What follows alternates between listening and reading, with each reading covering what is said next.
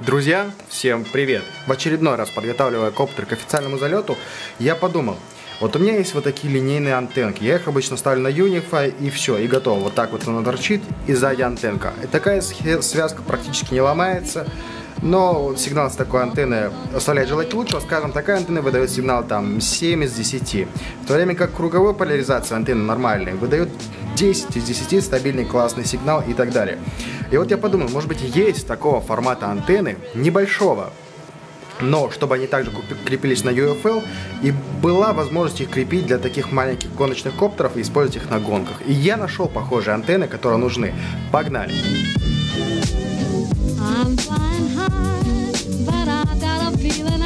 Антенны эти называются, по-моему, Big Mac и выглядят следующим образом. Замерять на оборудование, ну, одну, конечно, мы замерим, но вторую я сейчас просто-напросто поставлю на коптер, потому что хочу посмотреть, как они покажут себя в воздухе. Мы будем тестировать их сразу в воздухе. Антенны очень маленькие. Антенны чем-то похожи по строению на антенны погода или пагода. Здесь, по-моему, два слоя текстолита, что-то такое, но разбирать я их, конечно же, не буду. Но в целом, говорят, антенны просто бронебойные, хороший сигнал дают, круговая поляризация, все дела. 2 грамма весит такая антенна, и вот такая антенна весит грамм.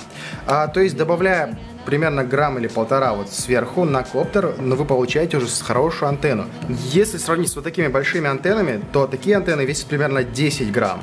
А именно поэтому большинство гонщиков используют вот такие антенны, поскольку они очень-очень много сразу экономят веса и, кроме того, еще практически неубиваемые. Такую антенну сломать очень сложно. Такая антенна тоже достаточно мелкая, весит нифига и в довольно крепком бронебойном корпусе, но это мы будем проверять.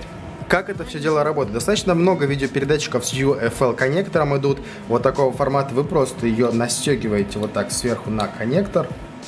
И все.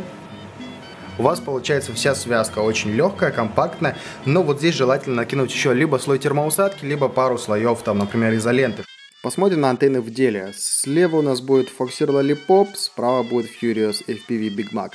Оба видеопередатчика это у нас Unify на 25 милливатт Raceband 1. И вот здесь, например, когда начинаются сложные деревья, сразу понятно, что а, Furious слегка не справляется. Несмотря на то, что Lollipop тоже, кстати, не показывает чистую картинку, но на Lollipop что-то видно. А Furious, к сожалению, чутка здесь проигрывает. Например, в гараже или между этими пространствами или в открытом поле проблем никаких нет.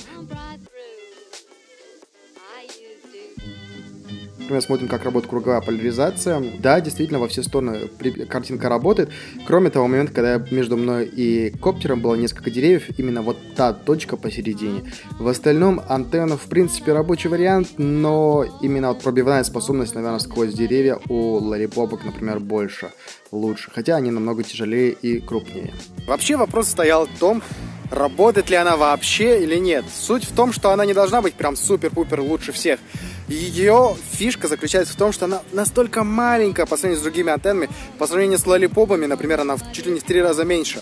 А лолипопы сами по себе уже очень маленькие антенны, поэтому надо было просто посмотреть, покажет ли эта антенна хорошую производительность. Да, на самом деле производительность хорошая. Она показывает приличную картинку. Вон там, за этими густыми деревьями, было, конечно, сложновато. Там были такие места, где было прям очень много помех то, ну, в то же время другие антенны там не лучше себя показывают. Просто прямой видимости нет, и там, ну, решила бы, например, переставить на 600 милливатт. Возможно, чуть лучше бы стало.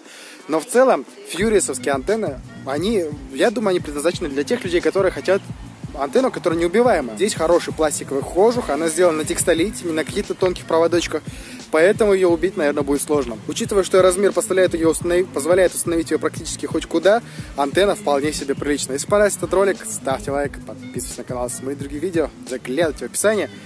Furious постарались, сделали антенну, которых пока не было. Я думаю, это их собственный дизайн, потому что до этого таких антенн не видел. И в принципе, как оказалось, антенна даже в принципе рабочий вариант. Кому интересно, ссылочки найдете в описании. Всем пока!